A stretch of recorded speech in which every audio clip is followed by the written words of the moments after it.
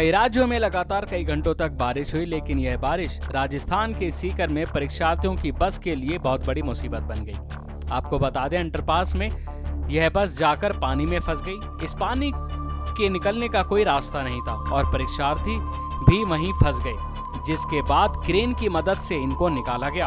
बता दें कि कांस्टेबल परीक्षा देने जा रहे परीक्षार्थियों से भरी बस ये अंडरपास में फंस गई, जिसके बाद परीक्षार्थियों को क्रेन की सहायता से बाहर निकाला गया।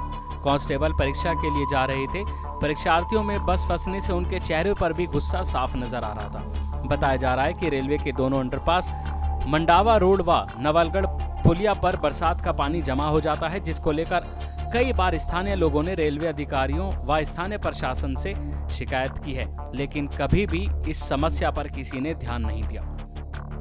S P N nine news room की रिपोर्ट। अगर आप भी बनना चाहते हैं एंकर और रिपोर्टर वीडियो एडिटर कैमरामैन या फिर स्क्रिप्ट राइटर तो हमें संपर्क करें।